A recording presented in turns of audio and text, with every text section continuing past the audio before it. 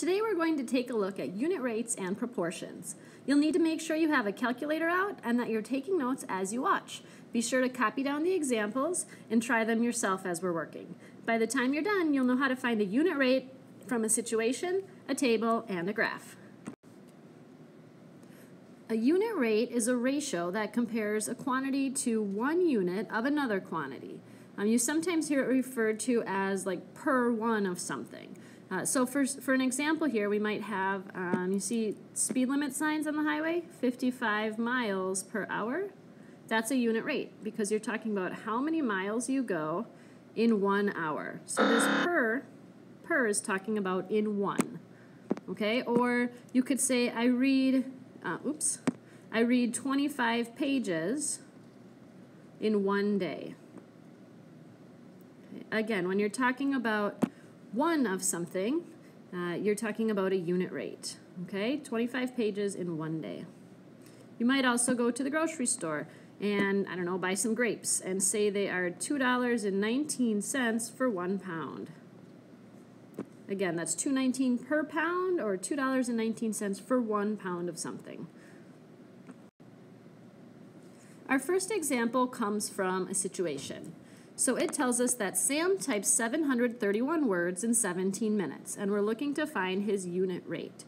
Okay, so I'm going to start by writing down uh, the rate that we're given, which is 731 words in 17 minutes.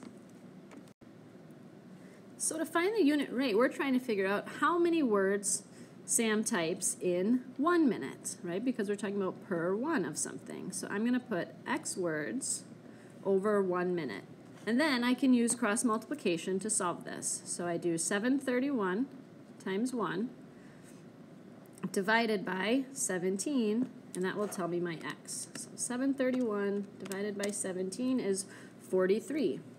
So x equals 43 um, and I don't just want to leave the number, I want to write it in as a unit rate. So our unit rates will include uh, two units in our label. So we have 43 words, okay, but to be a rate, we need both quantities. So words per minute. Okay, or you can say 43 words in one minute. All right. Um, notice another way we could have solved this one is to just do division right off the bat. Um, if you want words per minute, then you can take the words that you were given and divide it by the minutes. And 731 divided by 17 would also give you that 43 again.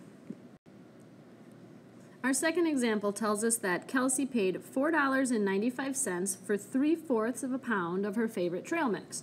And we're looking for the unit price, um, which is also the unit rate, and we want that in dollars per pound. So I'm going to start with writing down what we know what we know, $4.95 for 3 fourths of a pound, and we want to know how many dollars in uh, for one pound. So I put the x in my proportion for the unknown, um, and then I cross multiply. So I have 495 times 1 divided by 3 fourths. Um, and what I think would make this easier for me is I'm going to, instead of doing 3 fourths, I'm going to put that in as a decimal. Uh, because I know 3 fourths is 0.75, that makes it easier to work with. So we have 495 divided by 0.75, and I get 6.6. Okay, but now I have to think in terms of what we're talking about here. We're talking about dollars, so we want to make sure that we round to the nearest hundredths place. So I'm going to put a zero after that. And then to write my final answer, with our unit rate, we need to include our label. So this would be written as $6.60 per pound. Okay, or $6.60 um, for one pound.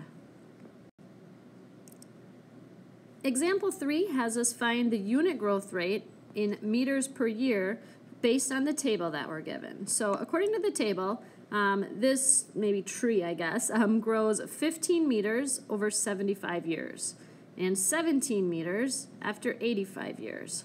And so what we're trying to figure out is the growth rate in meters per year. So let's pick one of these. I'll just, I'll start with, um, we'll use these numbers. So we know that in, uh, it grows 15 meters in 75 years. Notice how I'm putting labels in my proportion. That's really going to help me uh, make sure that I don't mix numbers up at all.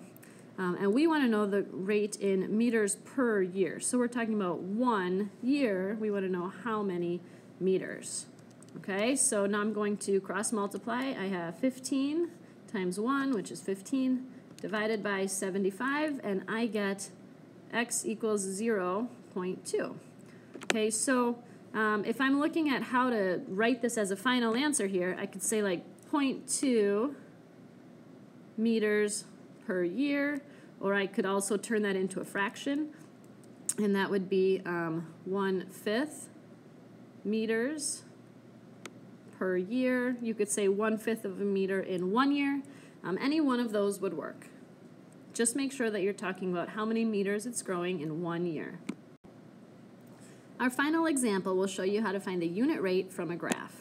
Okay, if I take a look at this graph, I see that it's showing me the cost of filling bottles, and on the x-axis we have the bottles refilled, and on the y-axis we have the cost.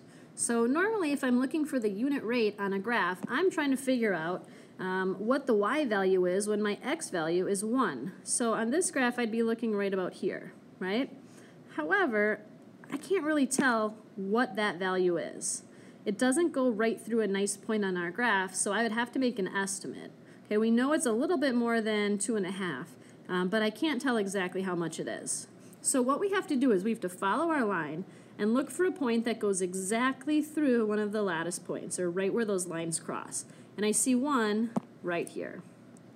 Okay, so then let's figure out what the coordinates are of that point to see if that helps us um, figure out the cost of these water bottles. So if I go down, I see that this is five water bottles.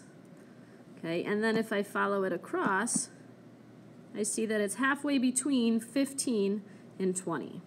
So how much would that be right there? I'm going to give you a second to figure that out. All right, well, to find between 15 and 20, uh, you can do 15 plus 20 and divide that by 2. And when you do that, you'll find out that 1750 is the halfway point. So let's use this information now to find our unit rate. Okay, so we've learned that it costs 17.50 for five bottles, and we want to know the cost of one bottle. So I'm going to put the one with the B, one bottle, um, and we'll set it up this way. Um, so now what I can do is 1750 uh, times 1, which is just 1750, divided by 5 and I find out that it is 3.5, which ends up being $3.50 per bottle. All right, so there's our unit rate from a graph. Um, I do want to point out one other thing, that there was another point we could have used on here to help us. If I kept looking up my graph, I would see one more point that goes through a nice lattice point, and that is at 1035.